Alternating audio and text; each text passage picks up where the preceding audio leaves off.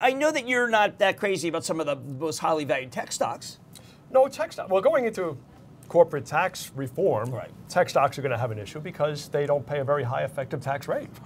They have a lot of tax credits that due to research and demand and that type of thing. So, yeah, you might get a repatriation event, which I'm not saying sell your tech stocks. I Right, which is a, which means that that Alphabet gets 80 billion. Right, and Apple and a whole Right. bunch of these other names will, will have a whole lot of cash coming in. They'll probably end up paying you a dividend or repurchase their own shares, making your equity stake worth more. So I don't think you want to get rid of your tech stocks just yet, but after that repatri- repatri- eh, repatriation event expires, I don't. This is just a market perform sector going forward.